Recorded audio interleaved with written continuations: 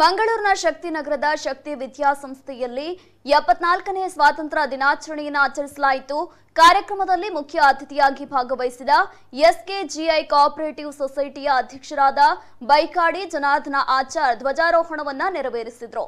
ಇನ್ನು ನಂತರ ಮಾತನಾಡಿದ ಅವರು, ಸ್ವಾತಂತ್ರ್ಯ ದಿನಾಚರಣೆ ಅನ್ನುವುದು ಕೇವಲ ಒಂದು ದಿನದ ಸಂಭ್ರಮ ಅಲ್ಲ, ಭಾರತದ ಪ್ರತಿಯೊಬ್ಬ ಪ್ರಜೆಯು ರಾಷ್ಟ್ರೀಯ ಮನೋಭಾವನೆಯನ್ನ ತನ್ನ ದಿನನಿತ್ಯದ ಕೆಲಸದಲ್ಲಿ, ದಿನನಿತ್ಯದ ಜೀವನದಲ್ಲಿ ಮೈಗೂಡಿಸಿಕೊಳ್ಬೇಕು.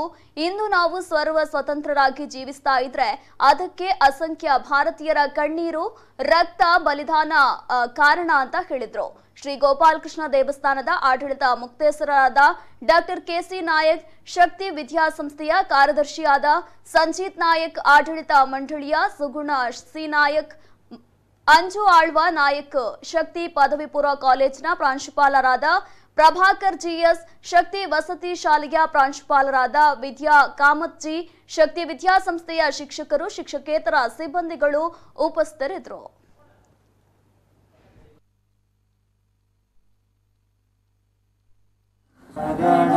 गणमन अधिनायक जय हे भारत भाग्य विधाता Punjab Sindhu Gujarat Maratha द्रा we will never enjoy our freedom till we wipe out every tear from every eye of this of the citizens of this nation is that